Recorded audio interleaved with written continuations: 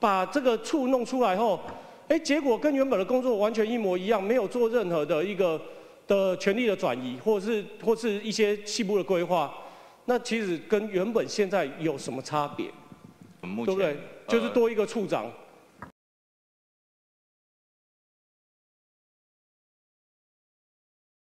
下一位，请吴伟达议员。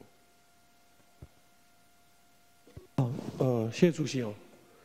刚刚有议员提到这个农地工厂的问题，我一样请处长回答。我觉得换个说法啦，你可不可以先来讲解一下纳管的目的？为什么二零一六年五二零以后的工厂要断水断电？请处长。来，处长，经理刘处长。啊，谢谢主席，谢谢吴员对我们卫东区工厂的一个关心哈。呃，这个是配合公务法的一个修正嘛，哈。那当时公呃目的啊，整个最原始的，我们当然知道说要依法行政，要依法行政。那公务法为什么这样设定？其实公务法里面它的利益良善，它就是一个就地辅导，但是它的时间点的定定，哦，它并不是以法规发布的时间为执行的时间点，而是我想，我想，我想，而是它切出了一百零五年五月二十号这一个时间点，所以在一百。在法规在一百零九年当时发布的时候，事实上人并不晓得说你是从一百零五年五月二十号开始起算的，这是没有人可以。处长，处长，我我觉得回到最源头是农地工厂到底对地方的环境污染会不会造成伤害？这个是我想是功夫法。为什么第一个为什么要切一刀五二零以后要断水断电？当然旧的数量那么多好几万家，他没办法及时的管理，及时的停止。至少不能再新建，这应该是大家的一个共识吧。那另外旧的要纳管，要做很多的，虽然要花钱，可是每次我们在看新闻，只要一个工厂大火，这些消防废水排到附近的农田里面，这一些造成的空气污染的问题，甚至有很多像塑胶一些塑胶的堆置厂、塑胶工厂，它一烧起来，那个臭味是可以传很远很远的。我想在面对议员的质质询的时候，应该要再回到这一个最原始的设立的目的啊。对啊，没有错啊。所以刚刚张议员其实他的关心是在一零五年五月二十号这个时间点本身的合理性嘛。嗯。如果今天这个一零五年五月二十号这个时间点是经过共识讨论出来，那当然很多人会对这个时间点会有心理准备。我我只是本席只是觉得说，在面对议员质询的时候，其实我我是鼓励啊，就是应该要把。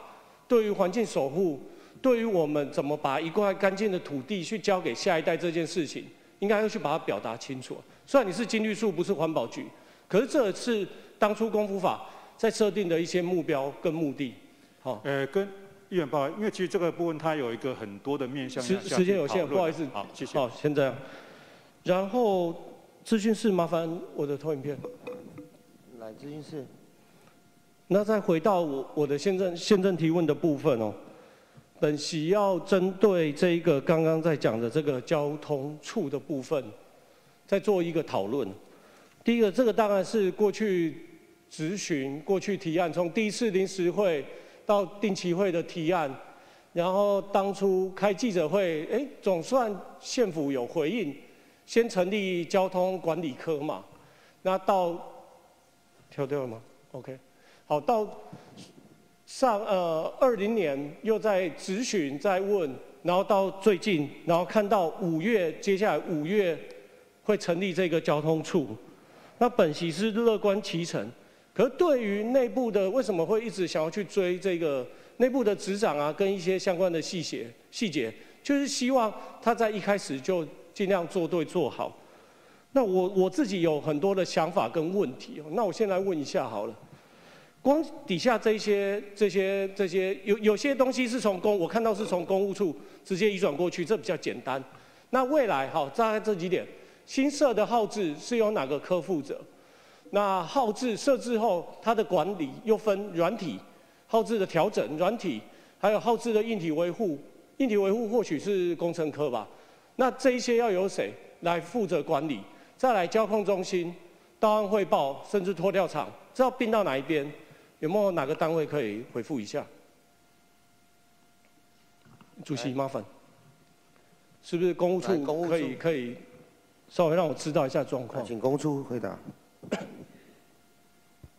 呃，谢谢主席哈，谢谢吴议员的关心哈。呃，如同议员刚刚这个上面显示的这些业务哈，未来就是我们交通处的一些核心的业务了哈。那在这个底下，我们会去做相关的分工。那呃，目前这样啊，我我直接问好不好？交控中心哈，交控中心要怎么办？交控中心现在应该是在交通队嘛？对，对不对？在警察局里面，那会整个移走吗？移到呃交通处的哪一边？应该是这样讲，它的目前的设备还是会先放在警察局。那我们会有一个交通工啊，里面的人员我有看到在新闻报道上有说，这个约聘雇会过去交通队啊，可是那原本的正职的这个警察雇员，我跟议员报告一下哈，因为这个涉及到员额跟呃。执掌的部分，这个部分我们人事处正在研拟哈。那人事处有来找我们讨论过哈。那我们目目前的编制的部分是朝整个运输规划，我们不会从交整个 transportation 的运输规划去做一个大众运输跟公共运输的整合。嗯。那另外刚刚议员提到的，包括未来的交通工程科，他就会去整合这些号志、交通中心等等相关的业务。那未来还有一个交通管理，它包括路边停车管理。以及以共享运具以及未来的一些交交通管理在哪里？不是交通规划、交通工程、公共运输跟停车管理。哦，这个是我们内部我我们人事处来讨论我们目前所以还在还在调整的执掌的部分，这个是底下的。所以刚刚议员提到那个媒体记者讲的部分，那个跟我们目前讨论没有没有没有哎，交控中心的约聘雇外移，到案汇报调拖调厂外移，这是警察局长讲的。哦这不是媒体自己写的，哦对，这个会并到交通处里面啊。这都会全部都并到交通处。跟执掌的部分，这个我们人数是在你相关的这个这个我为什么哈？我我我为什么把这个东西丢出来？就是我真的没有看到一个完整的一个执掌或一个很清楚的组织架构啊。是。我会很担心，这个自治条例过了，然后到五月，结果一一实施的时候一团乱。拖吊厂，哎，在拖吊业务。警察必须，我记得是有必，既必须有警察算要水桶嘛，要不然他没办法做执法的动作。啊，这个变成到底把这个处弄出来后，哎，结果跟原本的工作完全一模一样，没有做任何的一个的权利的转移，或者是或是一些细部的规划，那其实跟原本现在有什么差别？跟议员报告，这个就是我们目前对不对？就是多一个处长。跟人事处还有警察局在讨论的业务。好，那我希望尽快完成这相关的讨论，甚至在这一次会期结束前，给本本席一个一个书面的资料。好，在下一页，彰化县在彰化光在彰化市接下来会有好几个建设案会有关联，那这都是公共运输的部分，包含大家在讲捷运绿线延伸、铁路高架化，然后就这次送进来的路。来，再一分钟，把握时间哦。喂，还包括鹿港捷运，还有看到甚至有讲张南捷运哦。